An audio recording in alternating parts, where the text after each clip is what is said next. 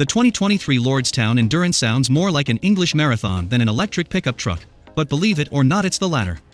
The Endurance is part of the onslaught of all-electric pickups that are on the horizon, but Lordstown Motors has endured, no pun intended, financial struggles and legal trouble.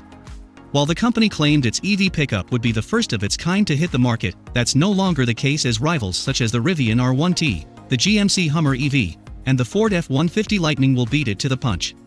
The future of the 2023 Endurance is on shaky ground, but the electrified pickup is said to have a range of about 250 miles, produce 600 horsepower, tow up to 6,000 pounds, and cost $52,500.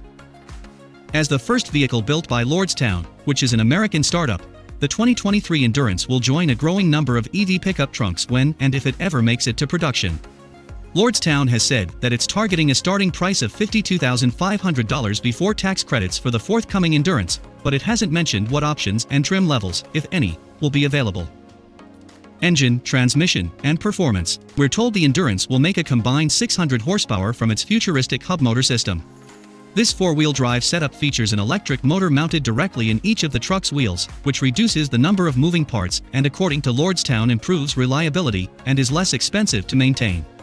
Although we don't have any other specifics about the Endurance, we have seen two videos of a prototype undergoing chassis testing. They include shots of the truck driving over a washboard-like surface, climbing a 15% grade, and driving through mud. The latter clip gives us a close-up of its solid rear axle that's supported by leaf springs, which won't provide as smooth of a ride as the Honda Ridgeline's independent rear suspension or the coilover setup found on the Ram 1500. Towing and payload capacity. Lordstown has said that the Endurance will be able to tow up to 6,000 pounds, but it hasn't disclosed any details about its payload capacity. That's a far cry from the five-figure tow ratings that are being touted by the Rivian R1T. It's actually closer to midsize, unibody pickups such as the Ridgeline and likely the upcoming Hyundai Santa Cruz. Range, charging, and battery life. We've heard that the Endurance has a target range of around 250 miles, but the company hasn't released any information about its battery capacity. While that number sounds plausible based on the current driving range of many EVs, it falls short of the R1T's maximum estimate of 400 miles.